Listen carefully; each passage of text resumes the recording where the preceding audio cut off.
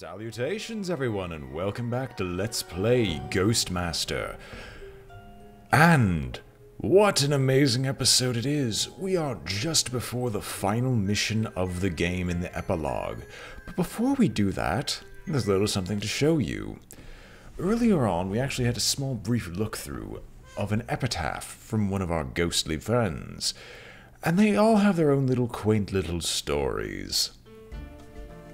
And so, I feel as if it's the proper time to go through everything that we see here and just see what our ghostly friends have to offer, shall we? What are your tales?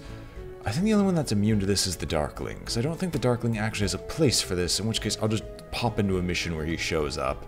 But for those who don't want to sit and listen to me read this entire time, this episode's going to be entirely reading based. So let's go, shall we? Starting with Trisha. The hapless cheerleader died from an overly ambitious pyramid formation, but still remains optimistic about life.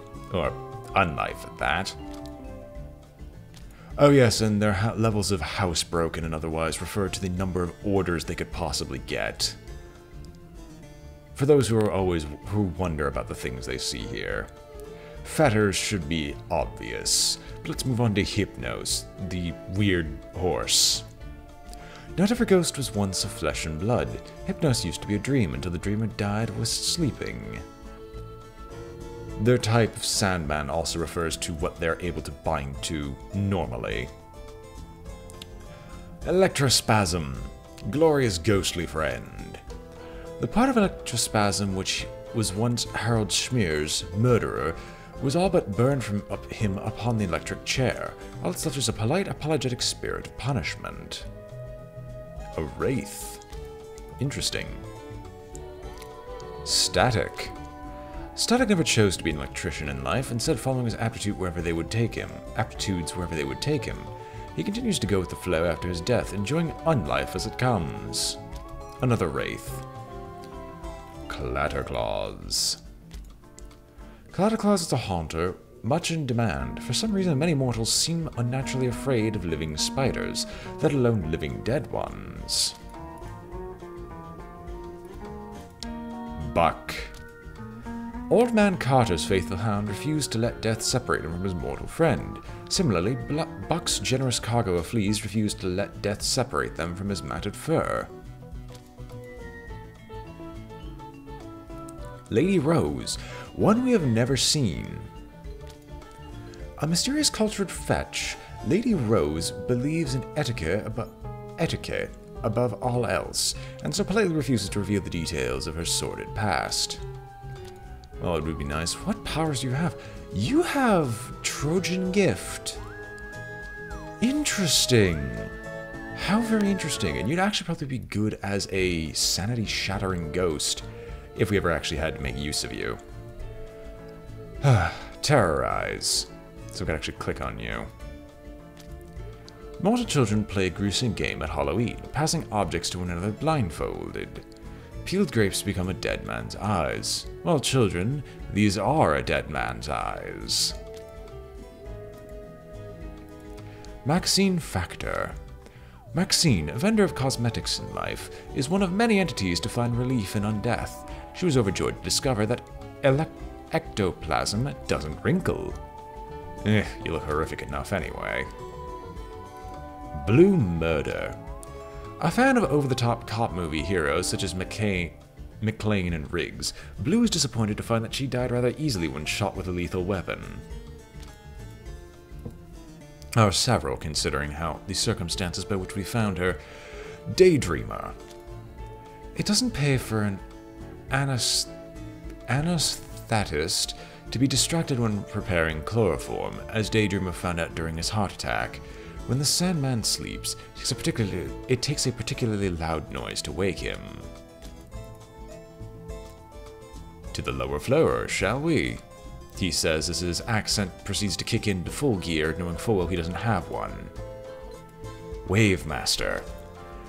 The multitudinous life forms that crawl and proliferate upon land are mere echoes of the legacy of Wave Master's kind. Rain Dancer.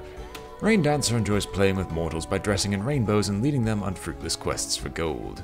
Bloody leprechaun. Carter, another ghost we haven't seen. There's a lot we haven't seen. What are your powers? Dance Macabre, Frozen Stiff, Phobia, Dominate, Fright and Bitter Cold. Interesting. Hang on, hang on. Epitaph. Old Man Carter is a compulsive teller of tales of his life, of the determination and business acumen that led him from the gutter to glory. He may expect he can expect to be respected but avoided by other ghosts. Fitting that we're getting closer and closer to winter with that type of story. Ghastly. Everyone in the astral realm knows Ghastly. The specter was haunting when you were not even a disturbance in the raw plasm. I've only seen you a few times. What's your ultimate? Dance Macabre. Okay. Knuckles. Mobster ghosts aren't exactly rare, but Knuckles presents a level of professionalism that's a cut above the rest. He doesn't put a severed horse's head in an enemy's bed, he uses his own. Interesting. Where to next? I think we'll save the Darkling for last. Moonscream. Professional haunters pride themselves in the reserve and impartiality, but Moonscream's truly is fair in all things. Admittedly, this is because she hates all things with equal passion, but full marks for effort all the same. Ah, the spirit of the internet indeed. Weather Witch. As owners come to resemble their pets, so do witches come to resemble their spells. Specializing in weather control, this unhinged banshee, banshee soon became controlled by the weather, and now her mood swings are as temperamental as the skies. Bridget. For half her life, Bridget cared only to be married. Jilted at the altar by her lecherous fiancé, she spent the rest of her life stoking her hatred for womanizing men. Her self appointed role as a ghost is not hard to guess. Shivers. Always in the running for MVP, most valuable Phantom, Shivers tends to be as uneasy around mortals as they are around him. Scared to death, paralyze, or reading. You would probably make a lot better if I just invested some more cash into you. Oh well, I mean I've got 15,000 gold plasm, excellent to just retire on. The painter. If genius and insanity are two sides of the same canvas, it's a mercy that the painter never created a self-portrait. People didn't want to hang his paintings, so the painter hung himself. Eh, nothing fancy. Fingers. Fingers always imagined life to be like music, with death as the end of the song. He was pleasantly surprised, therefore, to find that his death is in fact a coda.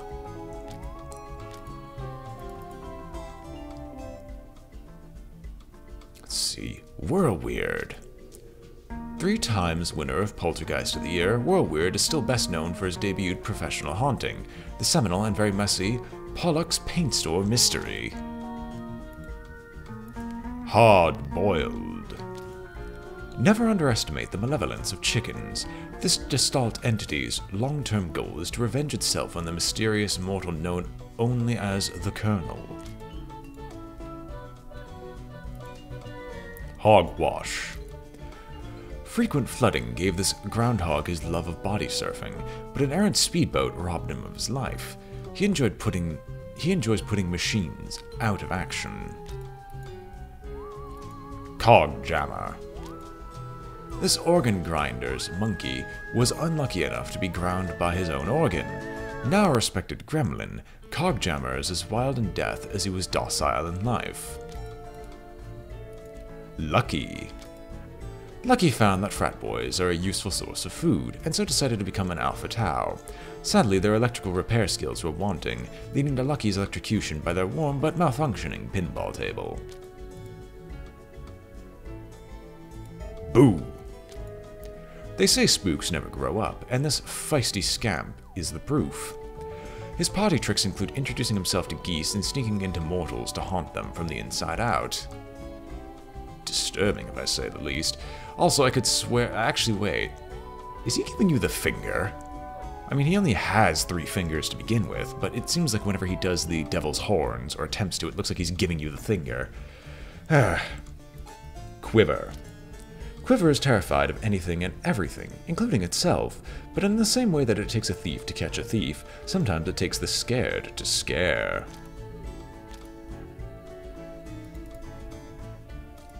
Wendell. As might be expected of a ghost who considers teen comedy movies to be an art, Wendell intends to have some fun with his newfound intangibility.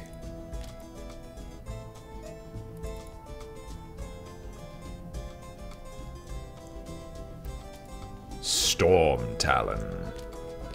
Prince of Elementals, Storm Talon is as glorious to mortals as they are banal to him.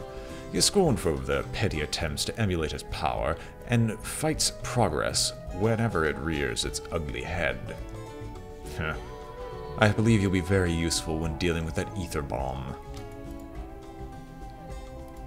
Blair Wisp. Oh my god, of course they have to do the close-up. Wisps experience pleasurable sensation when cased upon by mortals, and as such are very hard to sneak up on. They can, however, be incapacitated by a really hard stare. What are your powers? Huh. So you're just really useful. I don't know why you don't have much use on other missions, except for the fact that most of them are indoors. Eh. Dragoon. During the time of the Civil War, a mercenary dragoon ravaged the area. Killed by a band of farmers, they blew off his head with a musket. Right, you can get great balls of fire. I forgot that was one of your spell, one of your uh, powers. Ah. Wait, I'm gonna have to take a look at you after taking one last look at the Darkling. Windwalker. Windwalker's frosty attentions are guaranteed to make the hairs on the back of, mortal, of a mortal's neck stand on end, freeze, then break right off.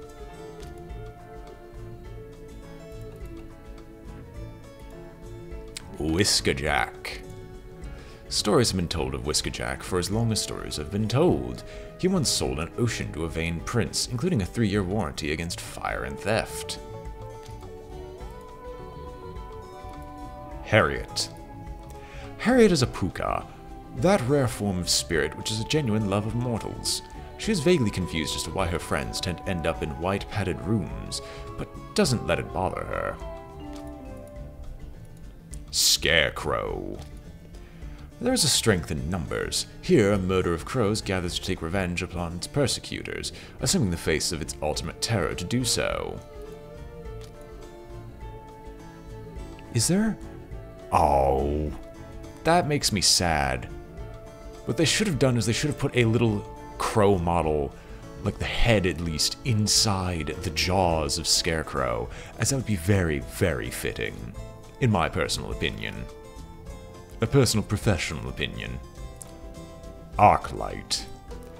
He came to fix the boiler, but he never left. His flickering light brings as much terror to mortals now as his exorbitant call-out fees did whenever he was alive.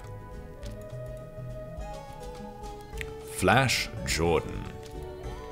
This reporter's single-minded quest for the Pulitzer Prize led to her obsessive investigation of a certain mob boss, she was increasing his paranoia quite effectively until a poor choice of hiding place led to her accidental cremation. Black Crow. Death is what you make it. Black Crow, still filled with sorrow at the murder of his people and the misuse of the land by the invaders from across the sea, continues to walk a trail of tears.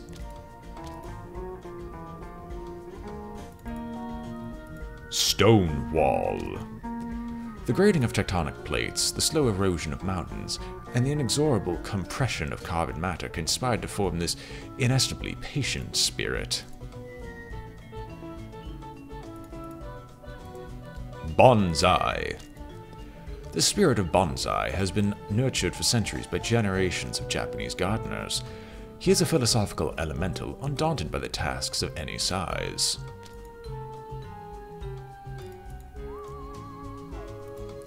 Whisperwind. Unlike many elementals, Whisperwind is a subtle spirit, foregoing ostentatious shows of power in favor of minor flights of fancy and small acts of mischief. Aether. A being of air cannot sing, but rather becomes the song itself. Ether has inhabited music for hundreds of years and is a popular spirit at parties. Alright, finally onto the murderous ones. Oh, fiery ones first. Sparkle. Like most fire elementals, Sparkle has an insatiable appetite. He traveled extensively in his youth and has fond memories of London due to his participation in the Pudding Lane Buffet of 1666. Firetail. Salamanders are inscrutable spirits which tend to treat all entities as equals beneath them, mortals included, but even the most unflappable spirit can be frustrated by bad manners. Darkling. A creature formed from the sticky darkness that gathers in the forgotten corners of the human soul. The Darkling has been trapped in the Netherworld for centuries, and now only knows hunger. You don't have all powers. Okay, so I was actually curious because I didn't thought the Dragoon...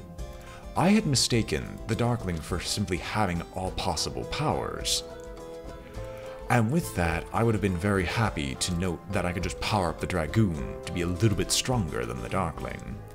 Speaking of which, considering the next mission, I think Hidden Maze would be hilarious.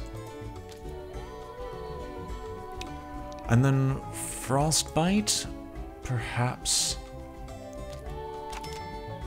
And then finally, I'm, I'm just giving the Darkling all possible powers, considering what the next mission is. But that is all possible powers. Well, not all possible powers, that is all possible entities, and I don't believe I've missed any. As such, I will say that that is now currently the end to this little bonus video. When we come back, we will finish off the game in its totality. This has been BrainBoy20 with Let's Replay Ghost Master, and I'm signing off. If you enjoyed the video, remember to like, comment, or subscribe, out a great deal. And I hope to see you all next time. Until then, happy hauntings.